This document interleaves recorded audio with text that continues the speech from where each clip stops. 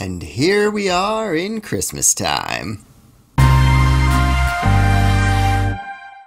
Hello my friends and welcome to the video. Today we are doing the aesthetic video for the December OC Noel.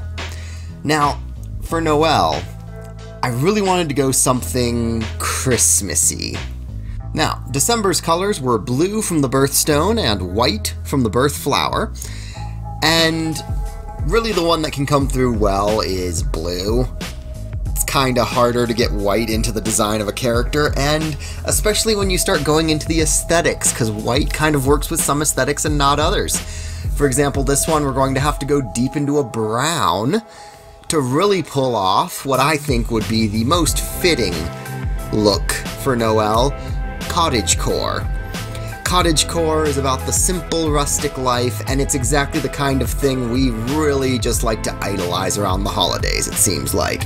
You know, Christmas villages have the rustic, idyllic, old school feel. It's a time of year where homemade goods are just everywhere, anywhere, any excuse. People are making homemade stuff. I made pretzel bread for the first time recently.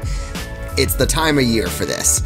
So I really feel like cottagecore fits well for December. Uh, now, this is based off of uh, some images that I found online doing a quick Google search.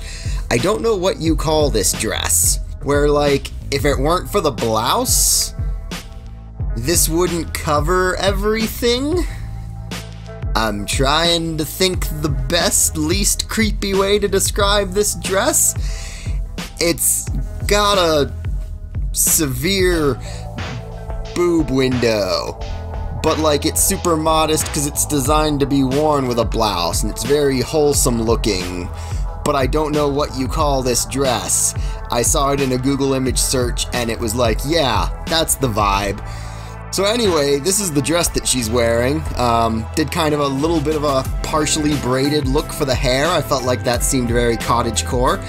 And then I drew this thing on her wrist and then ended up not actually coloring it separate, so she kind of has a bracelet and kind of just has the background showing through, but I think it works okay there.